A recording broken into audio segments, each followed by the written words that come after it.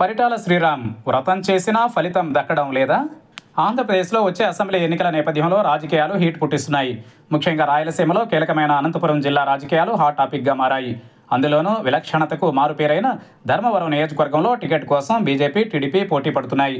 TDP తరఫున దివంగత మంత్రి పరిటాల రవి కుమారుడు శ్రీరామ్ బీజేపీ తరఫున మాజీ ఎమ్మెల్యే వరదాపురం సూరి టికెట్ ఆశిస్తున్నారు. దీంతో అక్కడి పరిస్థితి అడకత్తెరలో పోగచక్కలా మారింది. దివంగత మంత్రి పరిటాల రవి ప్రధాన అనుచరుడు మాజీ ఎమ్మెల్యే వరదాపురం సూరి ప్రస్తుతం బీజేపీలో ఉన్నారు. రెండు వేల తొమ్మిదిలో టీడీపీ తరఫున ధర్మవరం నుంచి పోటీ చేసిన వరదాపురం సూరి ఓటమి పాలయ్యారు రెండు వేల పద్నాలుగులో మళ్ళీ టీడీపీ తరఫునే పోటీ చేసిన ఆయన విజయం అందుకున్నారు.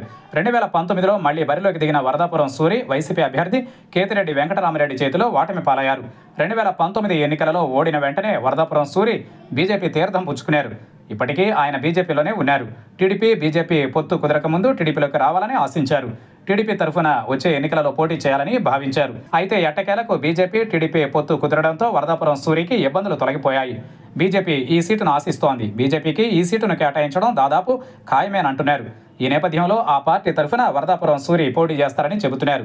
మరోవైపు పోయిన ఎన్నికలలో వరదాపురం సూరి టీడీపీని వీడి బీజేపీలో చేరడంతో ధర్మవరం నియోజకవర్గంలో టీడీపీకి ఇన్ఛార్జ్ లేకుండా పోయారు.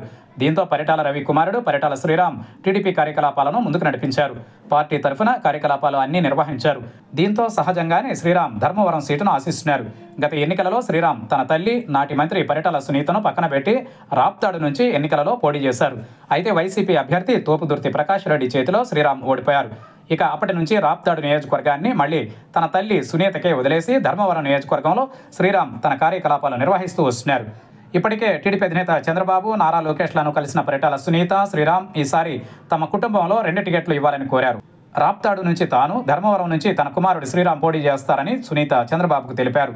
ఇంకోవైపు గతంలో ధర్మవరం టీడీపీ ఎమ్మెల్యేగా ఉండి ప్రస్తుతం బీజేపీలో ఉన్న వరదాపురం సూరి కూడా టికెట్ను ఆశిస్తున్నారు. దీంతో చంద్రబాబు ఏ నిర్ణయం తీసుకోలేక సతమతమవుతున్నారని అంటున్నారు. ఈ సీటును బీజేపీకి విడిచిపెట్టాలా లేక పరిటాల శ్రీరామ్కి ఇవ్వాలా అని మల్లగులాలు పడుతున్నారు. మరోవైపు వరదాపురం సూరిని పార్టీని విడిచిపెట్టి వెళ్ళిపోతే అనాథలా మారిన ధర్మవరం నియోజకవర్గంలో పార్టీ కార్యక్రమాలను తాను నిర్వహించానని శ్రీరామ్ చెబుతున్నారు.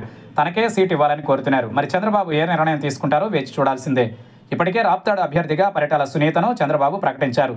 ఒక కుటుంబంలో ఒకరికే టికెట్ ఇచ్చే యోచనలో ఆయన ఉన్నారని అంటున్నారు.